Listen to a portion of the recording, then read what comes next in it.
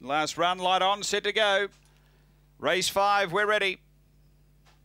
Set to race. On their way, speed early, come on Loopy's driving through to be the lead early, a length clear of Dazzling Diva. The inside, Filthy Phantom out wide, a Big Black Sian and Kiandra back at the tail, but down the back, come on Loopy by two to Dazzling Diva. A couple away, Filthy Phantom, two away is Big Black Sian and Kiandra. Up to the turn, come on Loopy, led it, rolled off the rail, Dazzling Diva's diving through. Dazzling Diva, come on Loopy, lifted. Come on Loopy, beats either Dazzling Diva or Filthy Phantom who flew late out wide. Then Big Black Sian and Kiandra back toward the tail. The run around 23 and 20.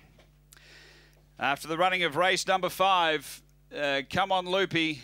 Well, I'm pretty sure she was headed, if not at least level, was able to lift and uh, beat Dazzling Diva. It's 4 6 3 and fourth home. The time 23 19, number eight, fourth.